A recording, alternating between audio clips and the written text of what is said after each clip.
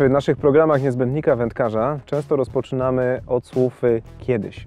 Ale trudno się dziwić, bowiem y, w dobie tak pędzącej y, technologii i jej rozwoju często nawiązujemy do czegoś, co było kiedyś, co było nam znane, a dziś jest już przeżytkiem.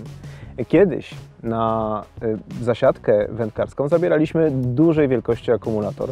To on pozwalał nam zasilać najbardziej potrzebne rzeczy.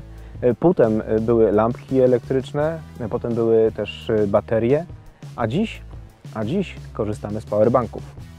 Będąc nad wodą, powerbanki pozwalają nam pozostać oczywiście pośrednio w kontakcie z rodziną.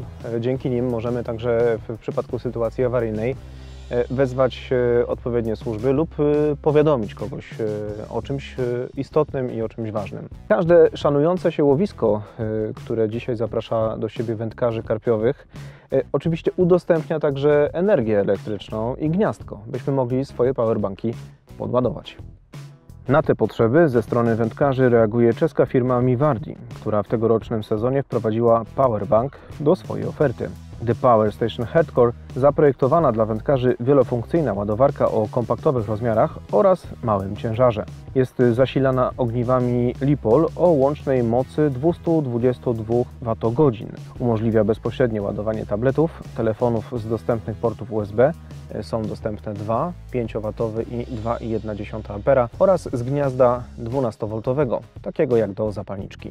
Jej zaletą jest bezpośrednie ładowanie większości laptopów. To opcja niedostępna w większości innych podobnych urządzeń. Wystarczy wybrać ze znajdujących się w zestawie odpowiednią wymienną wtyczkę oraz ustalić odpowiednie napięcie i można działać. Przenośna ładowarka posiada także latarkę, która może nam się przydać. Jak wiadomo, dodatkowe źródło światła nad wodą w nocy zawsze jest pod ręką. W komplecie znajduje się etui z neoprenu, zasilacz sieciowy oraz zasilacz samochodowy do ładowania.